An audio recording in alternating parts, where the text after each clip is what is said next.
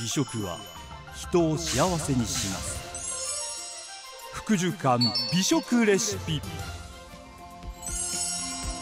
奈良市東向商店街にあります福寿館奈良公園前店2階。牛肉と和食のお店から。美食料理人森田慎吾と。西千尋。美食アシスタントの松井絵里奈が旬の食材と山形県の直営牧場で育てた最上級の合算和牛を生かした美食レシピをお届けします。さあ年も明けましたね。明けましておめでとうございます。さあ新年一発目の美食レシピは何ですか、はい、はい、今日はですね桃しゃぶを使ったそば寿司を作ってみたいと思います。そば寿司、はい、西さん今日使っていくお肉は何ですか？しゃぶしゃぶ用もも肉を使ってお料理します豪華ですね。豪華です。では早速始めていきましょう。鍋に分量の割り下水を入れます。火をつけ沸騰してきたらお肉を入れしっかり煮詰めます。うん香りがい。いですね。はい、甘い甘じょっぱい香りがしますえ結構しっかり味のせるんですね。そうですね。えっ、ー、とお肉の醤油の味でですねあのお寿司食べていただきたいのではいしっかりと絡めてください。このぐらいにあの表面にちょっと照りが乗ってくるぐらい。はい。本当だ照り照り。これで OK ですね。はい。次に焼いて冷ました卵焼きを切ります。家でもやっぱりこう巻き寿司作ろうと思うんですけど、はい、卵がなかなか難しい。あそうですね。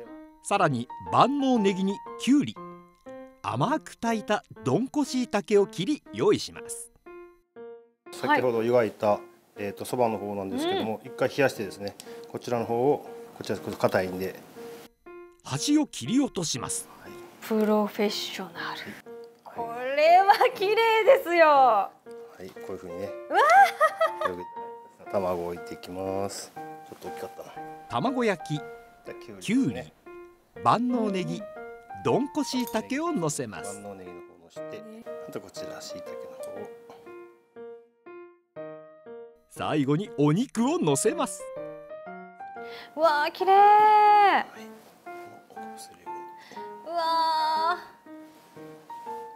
ここですよ。プロの技。巻く 巻くところがきますからね。最後のところ持って持って。ちょっとここですね。のりしろの。のりしろのここにはい。こういうふうに持ってくる感じ。おお、はい、いった。おお、はい、早い。これでね。これ何度も見たい今映像ですよね、はい、何度もこうちょっと 再生して皆さん続きは YouTube で見てもらってね。はい。さあ断面見せてください。わあ綺麗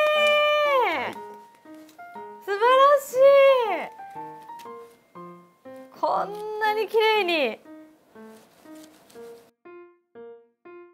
うわ綺麗。切って盛り付ければ完成です。出来上がり。